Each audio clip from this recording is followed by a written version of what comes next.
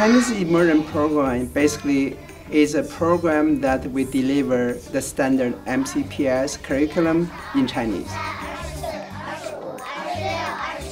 Partial immersion students spend half the day in the Chinese language environment. They learn math and science in Chinese, so I use Chinese. I speak Chinese and, and give instruction. 因为它是圆的， for example, we're learning uh, 2D and 3D shapes. So instruction are going to be in Chinese. Even from day one, I speak only Chinese to them.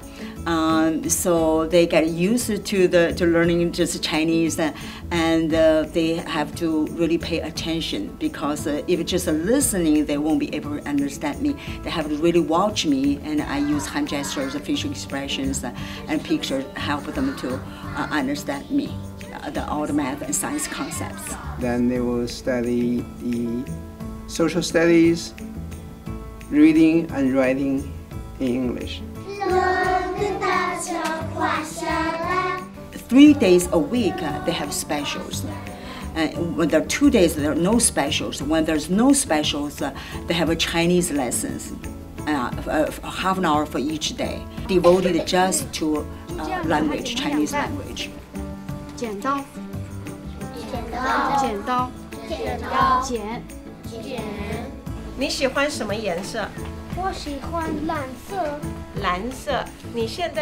I don't think it is difficult for them because they were young, they pick up things so quickly. They just learn the language uh, naturally. Yeah. So some parents told me that I go home, they ask them, what language is Miss Lee speaking? They say, uh, English. Say, hmm, that was a Chinese emergent. How could speak, Miss Lee speak English? They couldn't even tell the difference.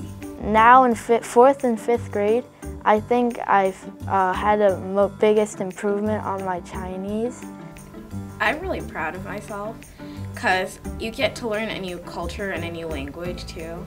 MCPS and uh, we have uh, articulation for all the Chinese immersion program students to go on to a program at middle school. For example, our kids are guaranteed to go to the Chinese program at Hoover.